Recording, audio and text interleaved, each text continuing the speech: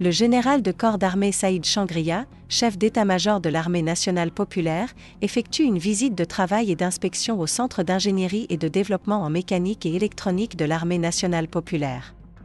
Selon un communiqué du ministère de la Défense nationale, le général de corps d'armée Saïd Changria a écouté une présentation détaillée sur ce centre et les missions qui lui sont assignées dans le cadre du système industriel de l'armée nationale populaire.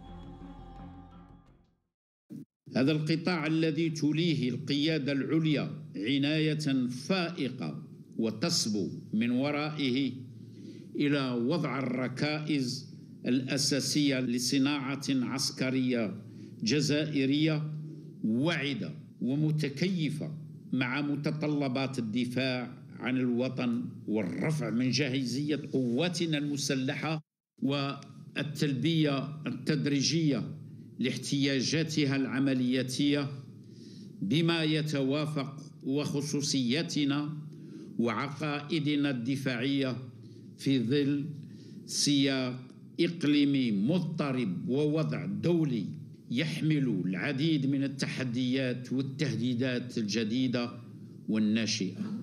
كل ذلك في ظل الاعتماد على كفاءاتنا الوطنية وعلى سواعد أبنائنا من ذوي الهمم العالية المفعمة بالطموح والمؤمنة بقدرة بلادها بل وبحقها المشروع في امتلاك أسباب القوة ووسائل حفظ استقلالها وصون سيادتها الوطنية وتعزيز مكاناتها الرائدة بين الأمم.